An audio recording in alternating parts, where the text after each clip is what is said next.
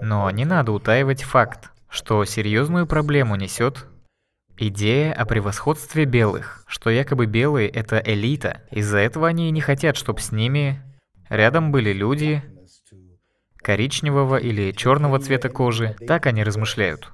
Белые хотят быть на вершине. Так же, как и некоторые мусульмане убивают, чтобы их религия оказалась на высоте. Точно такое же есть и с другой стороны. То есть это аналогичное явление. Есть две крайности, и от обеих надо держаться подальше. Вот об этом я хотел вам сказать. О мальчике и короле, как люди пришли в ислам из-за этого.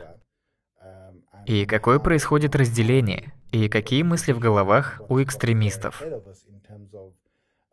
Хотел сказать о том, что может произойти при дальнейшем разделении между последователями этих вер. Молим Аллаха о лучшем. Пусть всемогущий великий Аллах даст нам лучшее будущее. Джазакум Аллаху хайран.